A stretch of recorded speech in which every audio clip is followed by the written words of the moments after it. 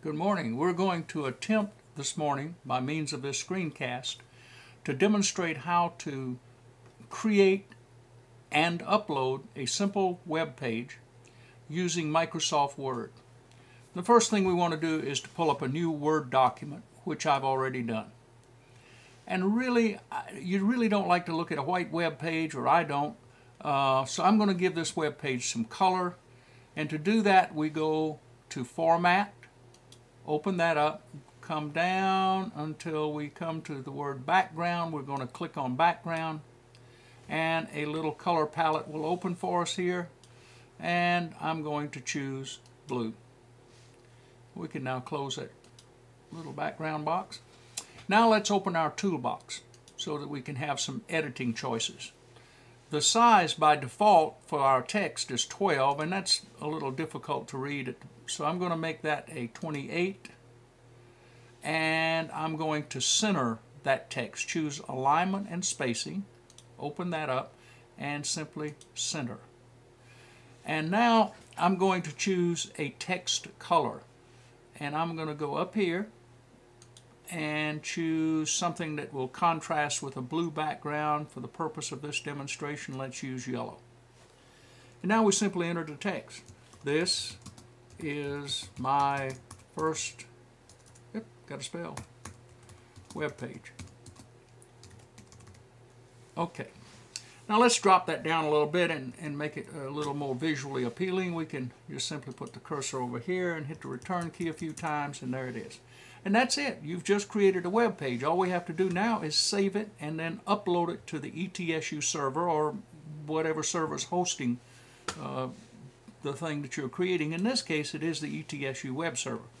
So we go to File, and now we want to save this document and we're going to save it as a web page.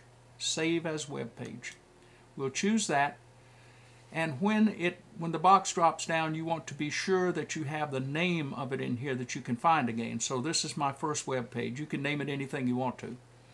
And the file extension will be HTML. That stands for Hypertext Markup.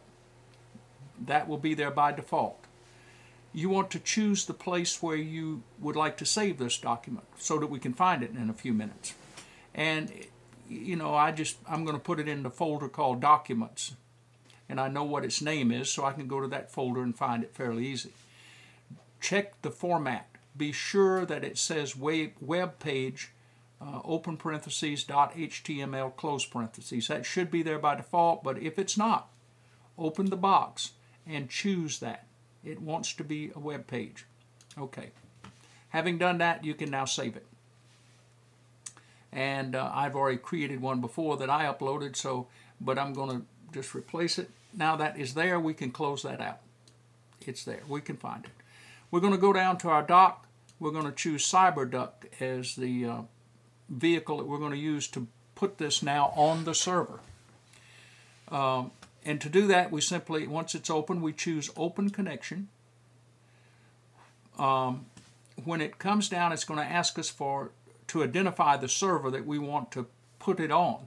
And the server is, in lowercase letters, FTP colon forward slash forward slash.